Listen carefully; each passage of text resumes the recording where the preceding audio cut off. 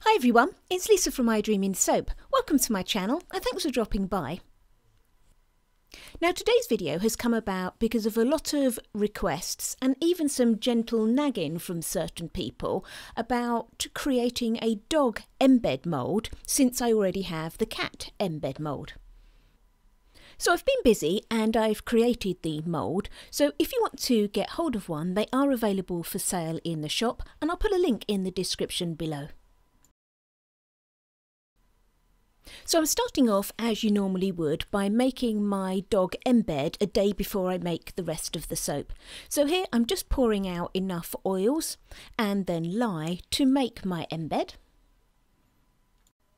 I do always master batch all of my oils and my lye solution, so therefore I can just pour off and use whatever I need when I'm making various different sizes of embeds and soaps and things.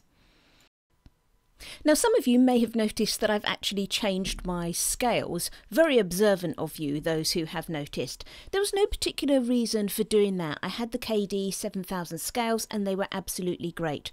But in the UK, if we sell our soaps, we actually have to have trade approved scales not necessarily for making the soap, but for selling the soap. So, therefore, these are just my trade approved scales that I'm using. Now for my dog, I actually want to make a German Shepherd dog. So therefore the colours I'm using are some activated charcoal, some golden shimmer from Mica Mama and some titanium dioxide.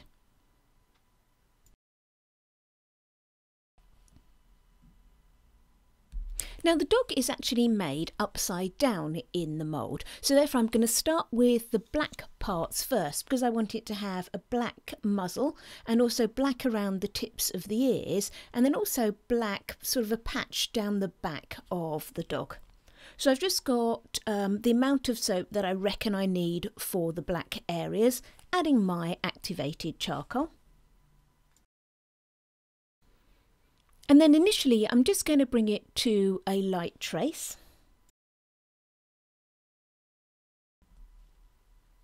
And then I'll add my fragrance oil. Now for my fragrance I'm actually using pralines and cream from Gracefruit in the UK. And once that's added, I just want to blend to just past a thin trace, getting on to medium trace, because I want this batter to flow nicely into the small parts of the mould, the things like the dog's ears just at the top.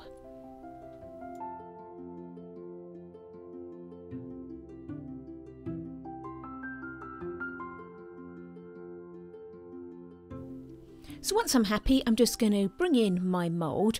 I've got it on a chopping board so that I can lift it up when it's all full of that wet soap without damaging the embed. And I'm just going to use a little pipette so I can get right into the smaller areas of the mould.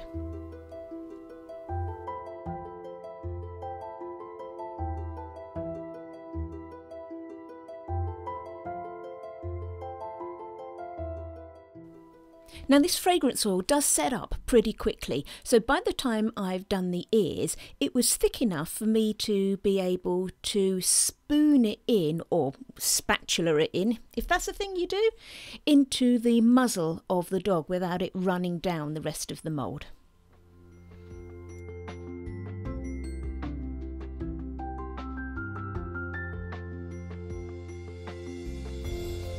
And then once that was done, I just needed to then put the rest of that black in to get the black area that goes down the dog's back. And again, this is getting pretty thick now, which is great because I need it to cling to the side of the mould.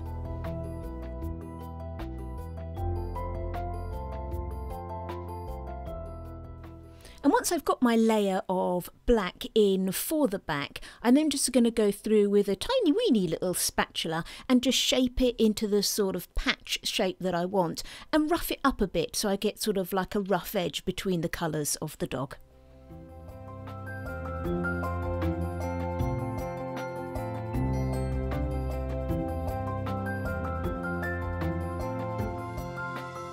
Once I was happy with the shape of the black areas, I then just made up my goldy sandy colour soap. I added in my fragrance oil and then I split my gold colour out because when you have a look at the coat of a German Shepherd, it has some sort of creamy flecks in it in amongst the sort of sandy goldy colours. So I just added in a little touch of titanium dioxide so I had the two different shades of the gold. I had also saved a small amount of black from what I'd used previously and there's no fragrance oil in here so this is still nice and fluid. And what I want to use this for is as I do the initial pour, which will go down into the dog's head, I want to have some little black streaks going through because the German Shepherds do tend to have some black flecks over and across their head and their face. So I then just filled in the rest of the mould, starting with a small amount of the sandy colour and some little dribbles of black to get that streaking effect I want in the head. And then I made my way up through the body of the dog, bringing in some of that creamy coloured soap every now and again, so we've got the mottling in the coat colours.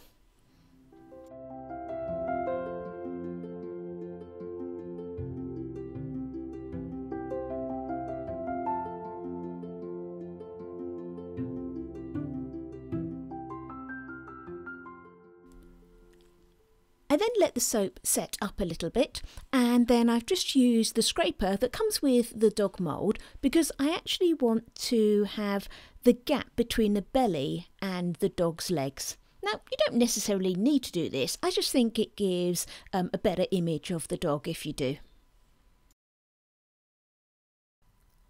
So once that was done, I just covered the embed and C-popped it as normal and left it to sit overnight and I'll the next day.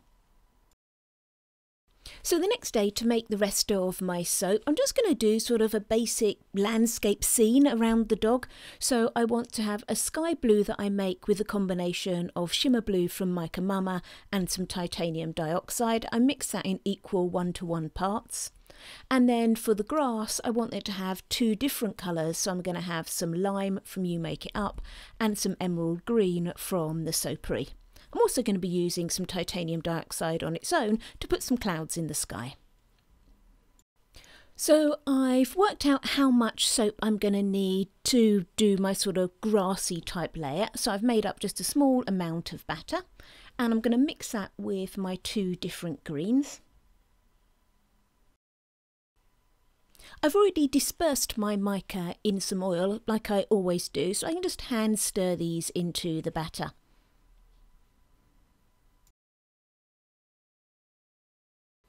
Now I am going to take off just a very small amount of each of these colours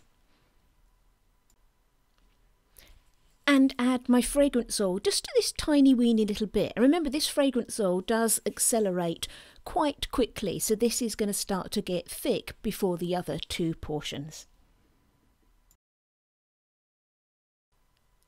And then I'm going to take my embed mould, which I've unmoulded, and I've just kept wrapped in some film so that it doesn't dry out too much.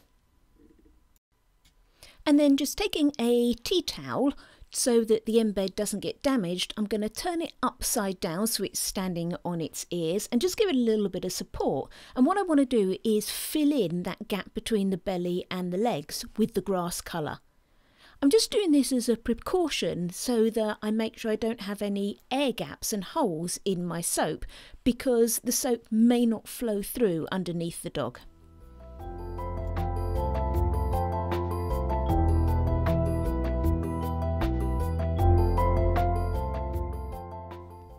Then I'll just add my fragrance oil to the other portions of that green soap. I'll get that thoroughly mixed in and then I'm just going to do an in the pot swirl with these two greens and then pour that in to get the grassy layer around the dog.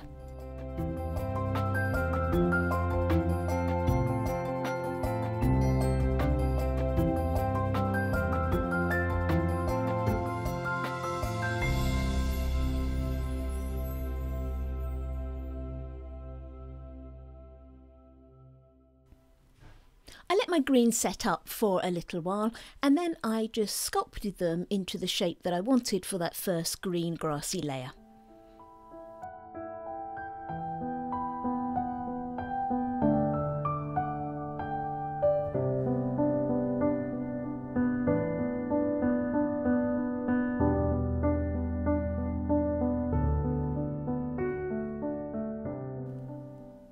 I then just finished off the inside of the soap by mixing up the rest of my batter, the majority of it in the blue colour that I want for my sky, and then a smaller proportion just in white to create the clouds.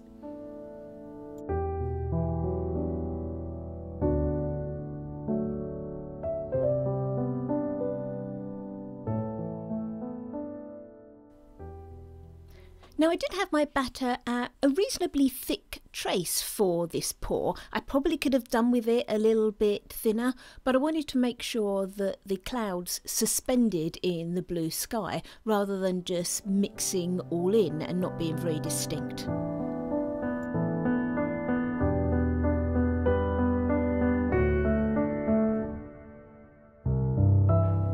As I got to the end of the Porsche, you can see everything was really quite thick. So I gave it a good old bang down to make sure I'd got rid of any air bubbles. And then just flattened the surface off with a palette knife. And then finally, because I was never going to get it completely flat, I just did some gentle little squiggles. I'm going to put some embeds on the top anyway, so this doesn't really matter.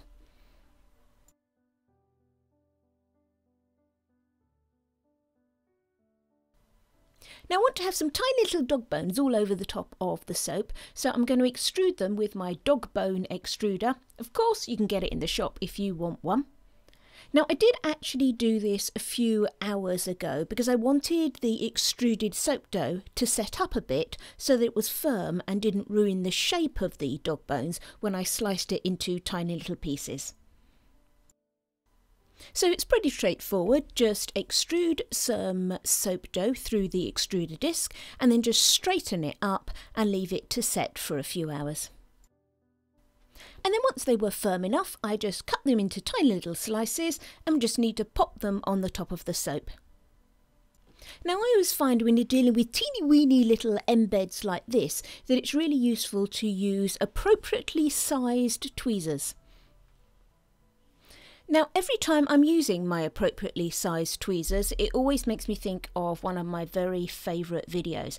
I'm going to link it in the description below, and if you want a good laugh, you need to go and have a look at it.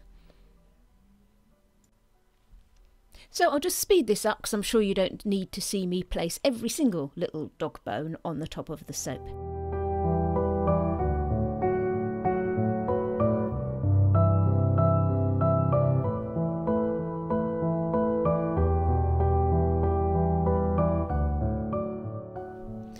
Once we're all done, I'll just put the lid on the mould and cover it, and then it just gets C-popped overnight and we'll unmould it the next day. Okay, so the cup. You got to be fast to catch it.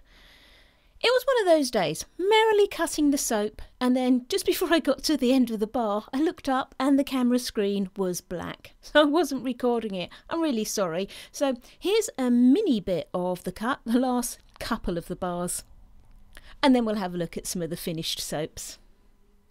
I hope you've enjoyed this video and that you like the soap. If you have, it would be great if you left me a thumbs up. If you'd like to see what I'm making in the future, why not subscribe to my channel? And don't forget, if you want to have a giggle, make sure you have a look at that video that I've linked in the description below. Thanks for watching everyone. Happy soaping!